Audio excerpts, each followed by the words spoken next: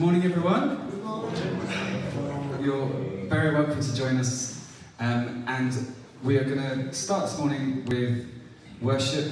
Um, we're going to sing together. We're going to um, just spend a moment focusing on the presence of God and recognizing He's here with us and responding to Him.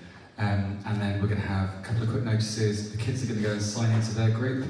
And then Maggie is going to preach to us this morning on our continuing sermon theme of discipleship, which is great. And before we enter into worship, I just wanted to invite Jeffrey up just to share something that you shared with me earlier on, which is great.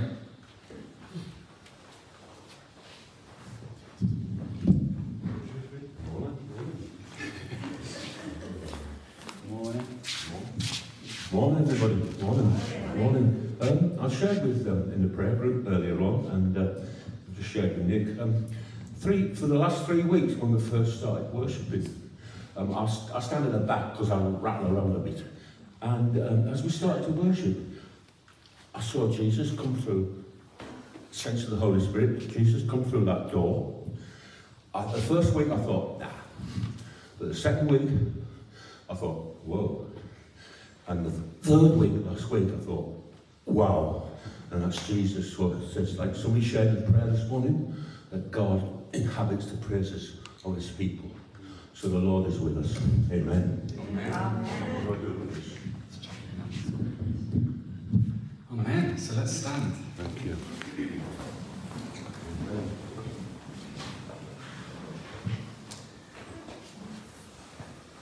So, Lord, come. Spirit of Jesus, we invite you to inhabit our praises of you.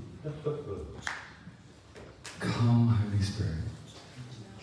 We recognize your presence is here already, but we ask you to draw nearer. We ask you to be present around us and within us. Because we want to glorify you and we want to enjoy you as you enjoy being with us. Amen. We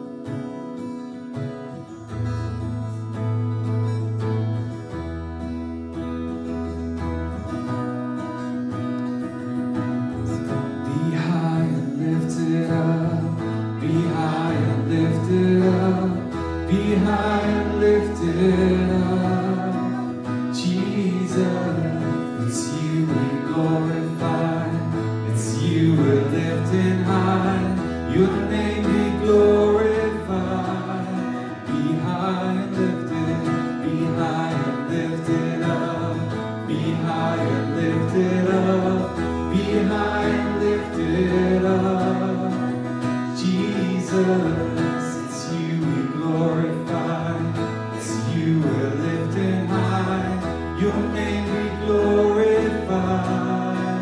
Hallelujah.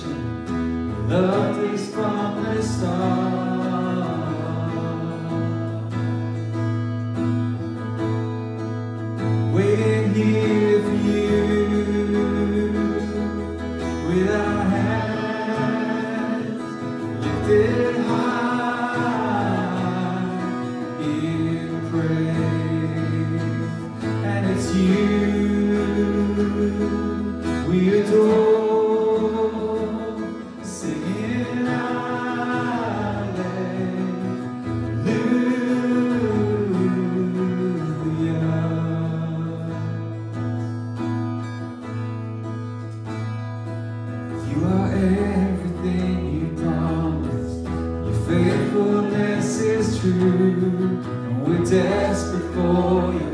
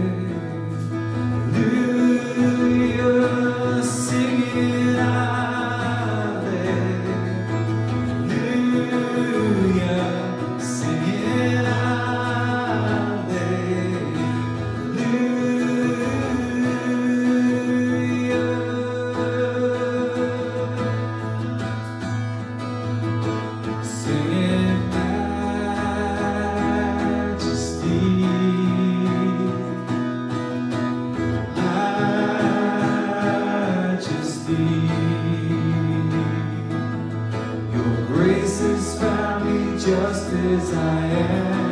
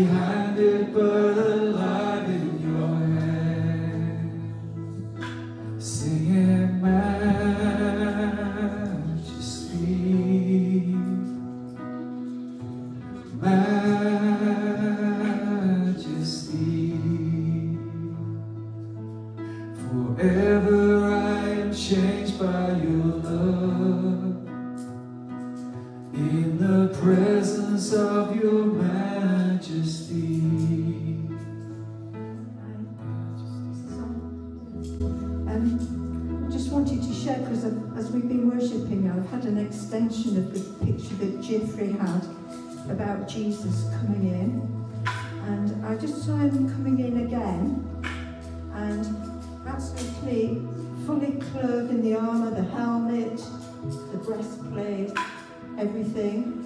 But, um, you know, on, if you've ever been here for setup, we, we drag quite a lot of stuff into position on trolleys.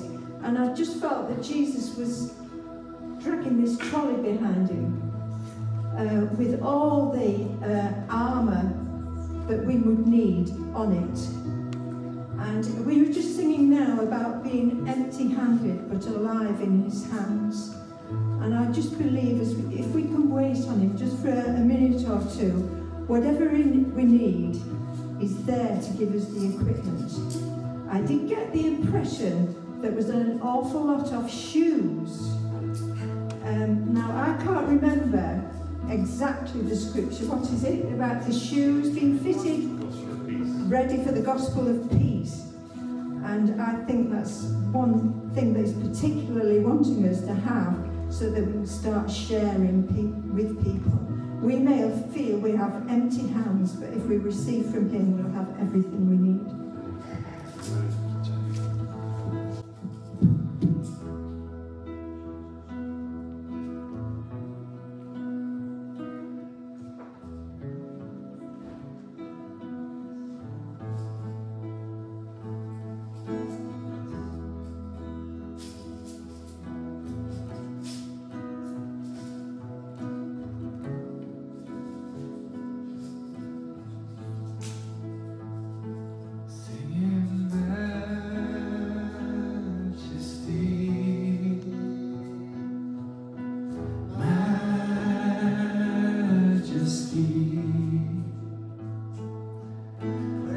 grace has found me just as I am. Empty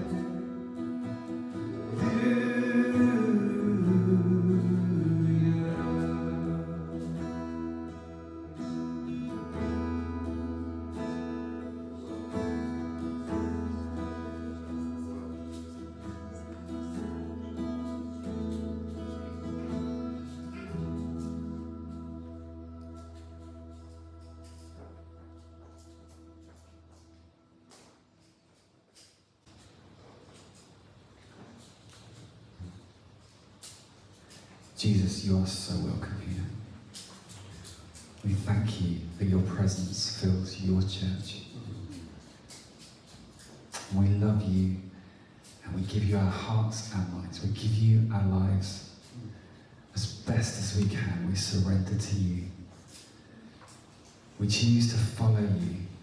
We choose to walk with you. And we choose each day to, to make a step closer to you to give more of our lives to you. And we thank you that, that as we surrender, as we give of ourselves to you, that you give us so much more. We thank you for your love. We thank you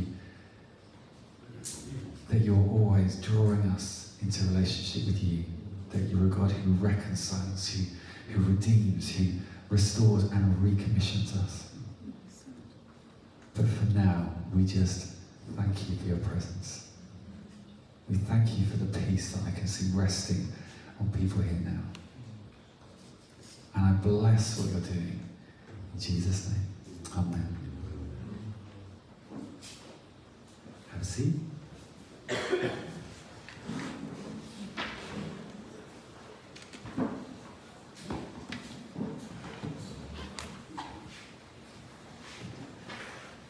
Thank you so much for worshipping with us today. Um, and we'll, we'll stay in a spirit of worshipfulness as we enter into the notices. Which I believe, yes. So um, this is a heads up for a week on Monday, if I've got my calendar right. Yes.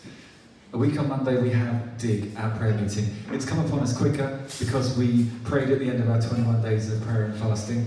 So that's good. We get to pray again, and we love to do that. We pray all the time, at all times, without ceasing, obviously, but once a month we like to get together and to pray. Uh, at the moment, that's continuing on Zoom, so it means that um, everybody who wants to and can handle um, being online, I know it's not everybody's taste, but for those able to handle it online, uh, including our remote congregation, hello to the remote congregation, um, then we're doing that on Zoom. It's just an hour, 8 to 9 pm. Um, it means that we can kind of get more people in the room um, than if we were just meeting together like that. So please do come along and, you know, pray every day as well. That'd be fab.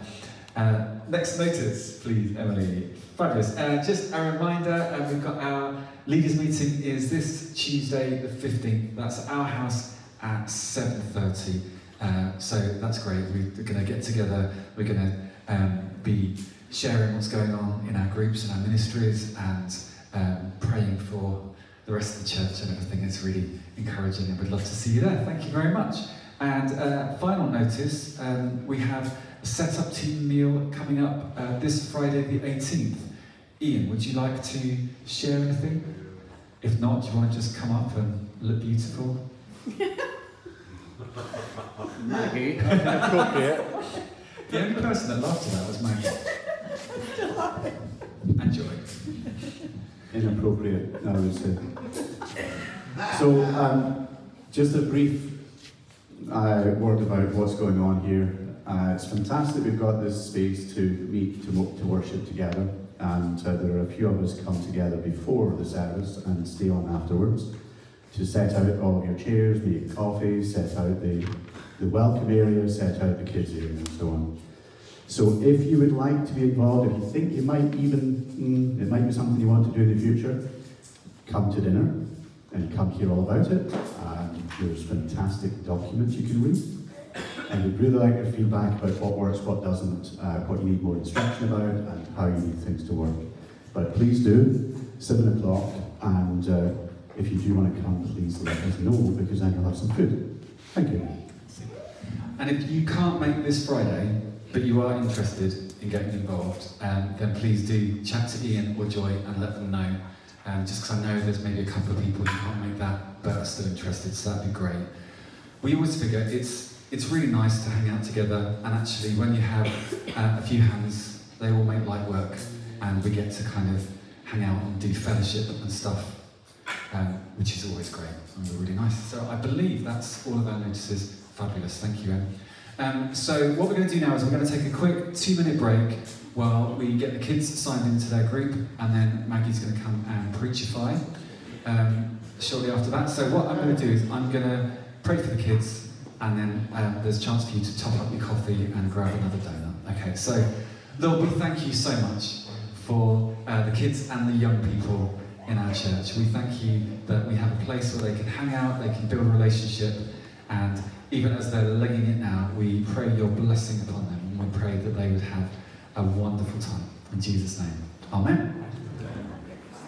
Good morning. So, um, I, I, went on a little memory when I was writing this, when I was planning about this, and I was uh, thinking back, um, and maybe you could do the same. I was thinking back to my 18th birthday. Now, that was quite a long time ago for me, quite longer for some of you. And for some of you, no, I think everybody here is 18 or over. I think we've shoved Emily's nearly 18. But um, I was thinking back to my 18th birthday.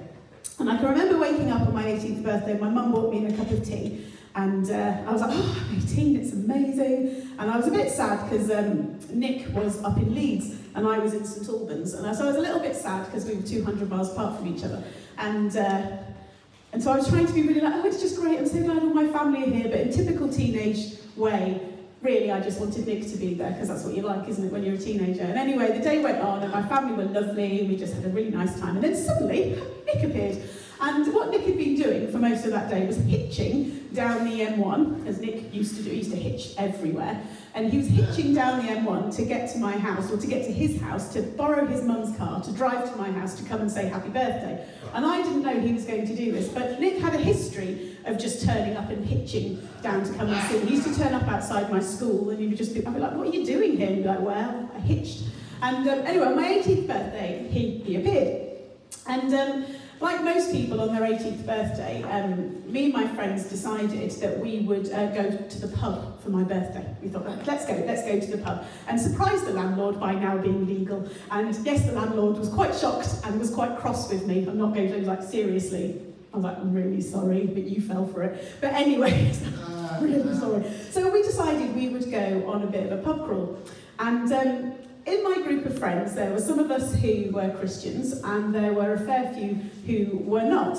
And one of my friends with us um, had a very serious illness and had been given overnight release from hospital. She was in uh, the Royal Free Hospital in London, and we had, me and my friend Sarah had kind of gone up there and sweet talked and got her an overnight release, which was, we were quite proud of, so we could take her to the pub. We might have left that bit out of our, our begging to the doctors, but anyway, we got her out for the night. And uh, we walked into town, and uh, as we walked into town, we happened across a church meeting, which I confess I knew was happening. But anyway, so we happened across a church meeting, and um, we were invited in, as I thought might happen. And uh, for some reason, and I cannot really tell you why, everyone decided this would be a really good idea.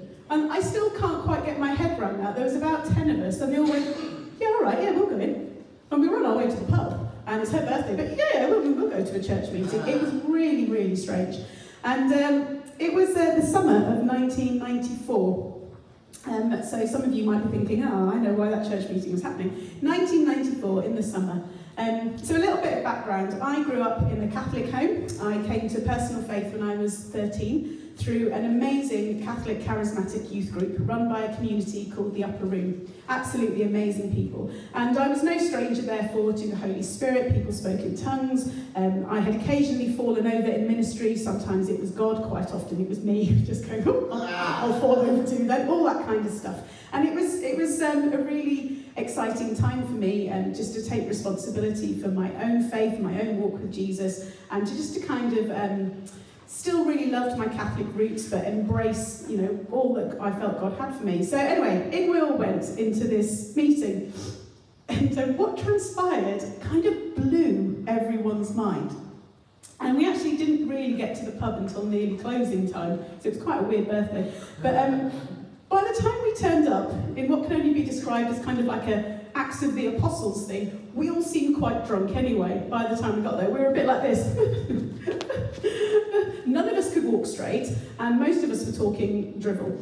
Um, but we hadn't actually had anything to drink until we got to the pub. Because the meeting we went to was in the throes of what might be called the Toronto Blessing. And for those of you who are unaware of this incredible move of God, it was a time of renewal and a blessing of the church. Now, some people during this time did some pretty weird stuff in churches, some of it of God, some of it not. And, um, you know, I still have a scar on my foot here from, um, I, I went barefoot a lot at that time, being a bit of a hippie goth. I went barefoot a lot, which was a bad idea in a meeting where people were pogoing up and down in the Holy Spirit, and a woman in high heels pogoed onto my foot. Yeah, I know, you're all cringing. Yeah. But every time I look at that scar, I go, God's real. Or that woman was mad. One or the other, I'm not sure. But we were all utterly blown away by God at this meeting. And the reason I'm telling you this is my friend with the illness, who we'd kind of got, got out of hospital, she walked through the door and she immediately hit the floor. And then stayed there for two hours. Two hours. I was like, seriously, it's my birthday, mate. Come on. Two hours. She was on the floor, did not move, apart from the occasional sort of wiggle and um, laughing a lot. She was doing lots of laughing. Um, a lot of my friends started laughing quite uncontrollably and were meeting Jesus really powerfully for the first time, or they were shaking in a way that I couldn't believe. And I'd been going to church where this kind of thing had been happening, um, but I didn't really think it would happen to my friends on my birthday, my friends who didn't believe in God. And it was a wonderful demonstration of the kingdom. You know, God's power was tangible. And of course, some people made stuff up. Of course they did. I mean, you know, some people people made stuff up, but people were healed, lives were changed, and it was really exciting to see this demonstration of God's power. But what always stayed with me, apart from the scar on my foot, um, was how each person felt loved by God. They felt known and loved in His presence. Now, I'm not sure if you've ever heard of, um, if you find it, this book, might just be able to see it. Um, it's a book called uh, Everyday Supernatural. And if you haven't read it, I highly recommend it. It's by Mike Pilavachi and I think it's Andy Croft. Um, it's a really, really good book about the everyday supernatural. And one section that resonated with me as I read it was their observation concerning Moses and God's glory. And it reminded me so much of that moment right back in 1994 when my friends experienced God in such a powerful way that even those who don't walk with Jesus now, because you know they didn't all stay that place, they still can't really explain what happened, and we call it that night. So they just kind of go, remember that night? And I was like, yeah, you can have it every day if you want. But you know, we'll see. So in this um, little observation, um, Moses, who has met God through the burning bush, he had seen Egypt covered with plagues. He'd seen the Nile turn to blood and even the sun blotted out. He had seen a sea part and manna fall from heaven, water spring from a rock. He'd been led every day by a pillar of cloud and a pillar of fire. He had received the Ten Commandments, broken them, gone back and got another set. And I love that bit. And he'd spoken to God face to face. And what does he ask of God at the end of all that? He says, Show me your glory. I think, wow, barefaced cheek. it's like, God, you've done all of that. Could you show me your glory? And in Exodus 33 19, we have God's response. And I just love it. And the Lord said, I will cause my goodness to pass in front of you, and I will proclaim my name, the Lord, in your presence. I will have mercy on whom I will have mercy, and I will have compassion on whom I will have compassion. And God's glory and his power is awesome, and it is ultimately revealed through his goodness, his mercy, and his compassion.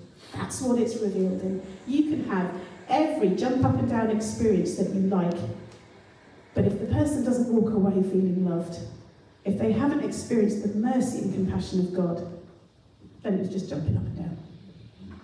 Pilavachi says, he says, a true revelation of God's glory, a genuine miracle, a real act of supernatural power will cause us to wonder afresh at his character, his goodness, mercy, and compassion.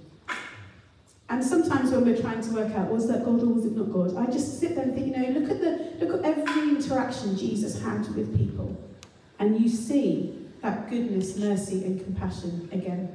All those stories, you know, the um, the woman at the well, or the woman with the hemorrhage, or the man with the withered hand, the paralysed man. I'm just doing Mark's Gospel now. I'm going to descend into Mark's Gospel. It's going to become a GCSE lesson. I've gone from John. I'm, I'm lurching into Mark here.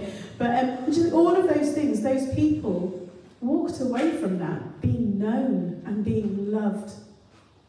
So when we consider God's power through the miraculous and the supernatural, through gifts and experiences, we should remember that the result of Jesus' miracles wasn't simply that people were awed, or not even just that they were healed, but that they were loved and they knew it. So every act of physical healing, every act of forgiveness, every action that addresses poverty is a foretaste of God's kingdom that will come in fullness one day. God's kingdom has broken into this world, it is breaking into the world, and it will break into the world one day. It is that now and the not yet of the kingdom. And the kingdom of God is that dynamic rule and reign of God. It comes from that word basileia, meaning rule and reign. And throughout the teachings and actions of Jesus, we can see this rule and reign is present and demonstrably active. And in Revelation 11:15, we can read of the day when all creation, the world will see and acknowledge Jesus' reign. It says, The kingdom of the world has become the kingdom of our Lord and of his Messiah, and he will reign forever and ever. But until then, there remains this mixture of good and evil that we all experience and we are touched by.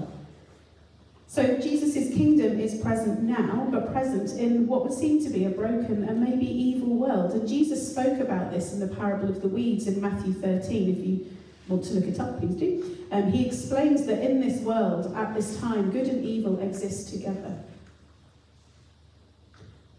But as I was explaining to somebody this week, that might be true. Good and evil exist together, but that doesn't mean good doesn't exist. Just look at the evil. There is still the good.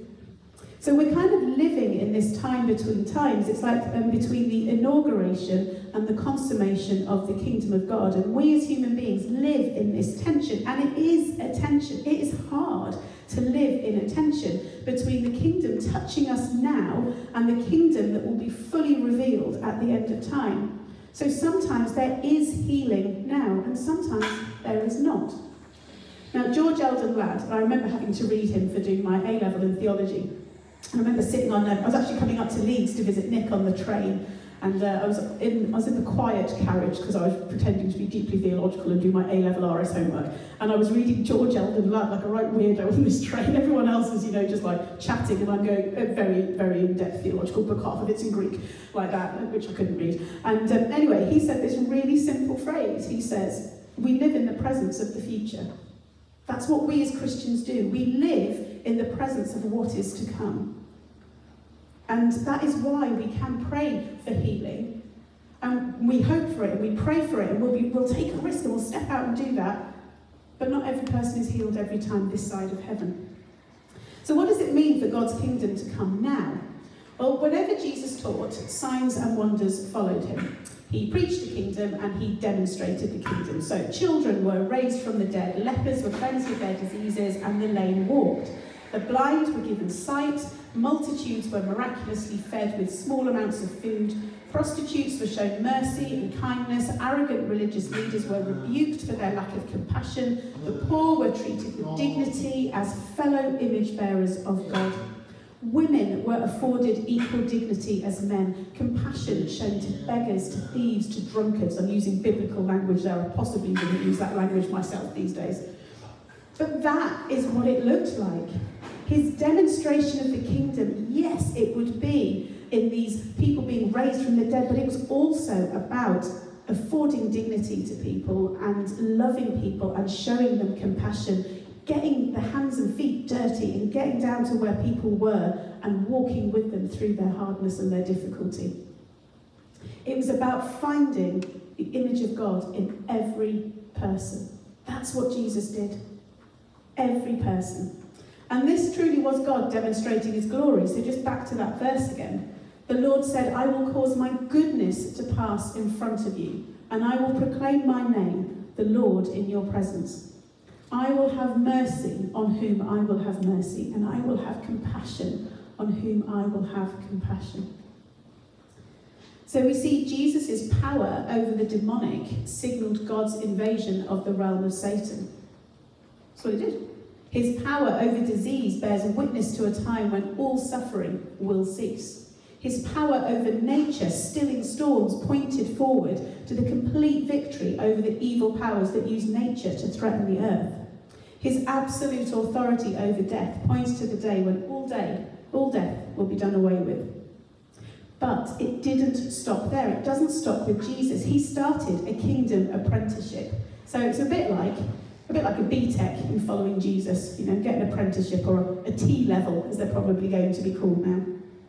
Jesus commissioned his disciples to go and do the same things that he was doing. And I was watching that film Risen. I don't know, some of you have seen the film Risen. Um, it's an amazing, amazing film about um, a Roman centurion who is tasked with finding the body of Jesus after, after the crucifixion because rumours of his resurrection are rife and it's going to threaten Roman power, but it's also really irritating the Sanhedrin and the Jewish powers and um, and he, has to try and find this body, and he's going bonkers trying to find this body, and then suddenly he finds Jesus, and he's like, I don't know what to do with this information, and it turns his life upside down. And in that film, you see this amazing bit of these disciples just going, We've got to tell people, and like they're practicing their spiel. There's one bit where one of them, just after um, the ascension, he's he's on the beach, and he's he's like got some people around him and he's talking about Jesus and he's going, oh, blah, blah, blah, Jesus, love me, blah, blah, And his mate comes on and says, you need to go. And he goes, yeah, goes, that was quite good, that one. I might save that. I might use that one again. And you can just kind of see them practicing, preaching the gospel and going, oh, that's good, yeah, keep that. That works. So they were going to proclaim and to preach and to demonstrate God's rule and reign. And sometimes we elevate these people into experts, and they really weren't. They were trying it out the same as everyone else and trying to get the words right. They had walked with Jesus physically for three years, slight advantage, I suppose. But they were working um, with, with uh, working with their obedience. The Holy Spirit extended the kingdom into people's lives. I don't believe Jesus ever meant for miracles to end with him, because why would they? Because we're living in that tension. We still need glimpses of the kingdom. So this ragtag band of fishermen and tax collectors and Jewish laymen were participating with Jesus in the revealing and the demonstrating and the preaching of the kingdom. So every miracle, every act of justice and compassion was pointing to the future day when God would completely set the world upside right again. I love that phrase. Set the world upside right. That's what God would do, upside right. He would fix things in the future. And this presence of the future that Ladd was talking about was truly upon them. The kingdom was near and they're participating in this amazing restoration project. And God acts in healing and power and deliverance still today. The kingdom apprenticeship that Jesus started has never stopped, and it is an open invitation to every single follower of Jesus. And what do followers do? They follow. That's what we do. Followers follow. That's, that's our job. We follow and we follow the one, and then we play, you know, bit Simon Says, really, more like Jesus says. We, we do what he says. And I, I, wonder how that makes you feel. Um, I, I have various responses to this at various times. Sometimes it makes me feel really excited, really eager, nervous, sometimes a bit terrified, quite often inadequate, sometimes offended. Sometimes it's offensive, isn't it? It's like, yeah, but I don't, I don't like that person. They're, they're, they're rude and they're unkind and they treat people badly. I mean, I've, I've got to go and demonstrate goodness and mercy and compassion to them. And Jesus is like, yeah, find the image of God in that person. Go for it. So perhaps also in the past, maybe you've been prayed for and maybe healing didn't come. Maybe it was physical healing or emotional healing or mental healing, and maybe now you're skeptical or confused about this kingdom. You know, why didn't God do that? And maybe the thought that God could and would use you to pray for the sick or to give a word of encouragement or a prophetic word is maybe just a step too far. The idea of laying hands on a person and risking a prayer maybe sometimes feels a bit too much. Perhaps you think that that's the leader's job or somebody with one of those special anointings you know, there's people with special anointings. In some churches, they have to sit on the front rows, the special anointings people. Uh, we don't do that. If that ever starts happening, I'm going to start removing the front rows, and then you'll all be on the front row. Uh, we, we, we don't do that. We, we don't do as some people are better than others. It's just nonsense. Um, I say respectfully, stepping away from the theology of other people, but um, I don't agree with that. So maybe you disqualify yourself from doing the stuff. You might just be too tired. Let's be honest, we're all a bit tired, aren't we? You might just be too tired. But today might be a really good day to allow God to speak to you about that. allowing God to speak to you about that fear or that worry or that decision that you've made about you and who you are. Because I suspect God's original design for your life did not include a portion called inadequate for ministry.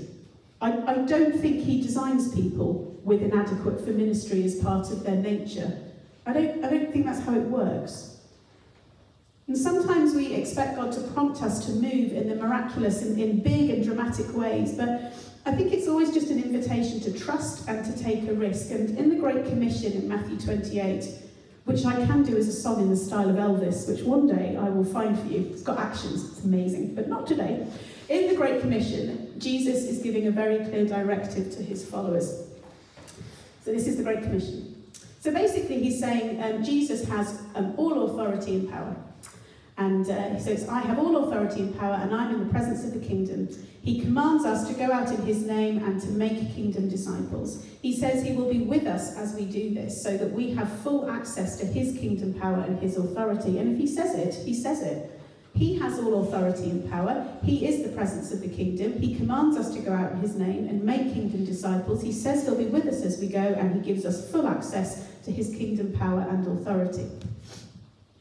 So then at Pentecost, this ragtag bunch of disciples, at Pentecost, the kingdom of God creates the church through the outpouring of the Holy Spirit. And the church becomes the primary, although not exclusive, residence of God's rule.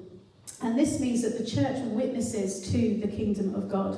It is an instrument of the kingdom of God. So the church should show goodness, mercy, and compassion.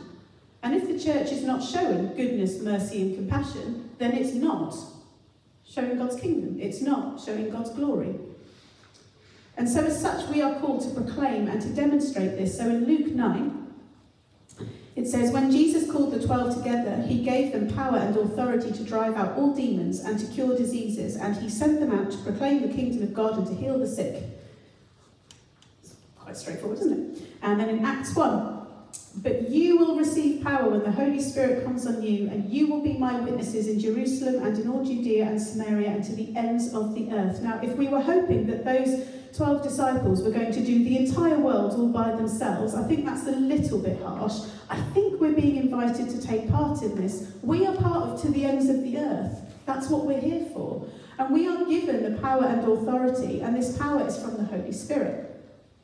So the power is the ability and strength and might we need to complete the task given to us.